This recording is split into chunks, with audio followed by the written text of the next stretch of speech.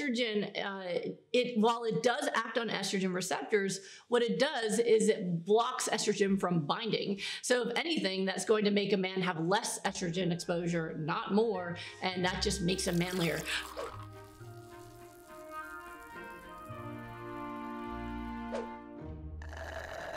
So the question from Smoothie Shred is whether men should avoid flax and chia seeds due to hormonal issues. And the answer is no. There is no hormonal issues associated with flax and chia seeds. So my guess is you're thinking about the phytoestrogens that are in flax seeds, which is also in uh, soy products like tofu, edamame. Uh, phytoestrogen, uh, it while it does act on estrogen receptors, what it does is it blocks estrogen from binding. So if anything, that's going to make a man have less estrogen exposure, not more, and that just makes makes them manlier. Uh, and uh, it also is very beneficial to women because uh, people, women who take in phytoestrogens like from flax seeds have lower incidences of breast cancer. So unfortunately, um, misunderstandings about nutrition often will spread like a wildfire. And so people think phytoestrogen sounds like estrogen and therefore it's estrogenic, but it's actually the opposite. So no, no issue there at all.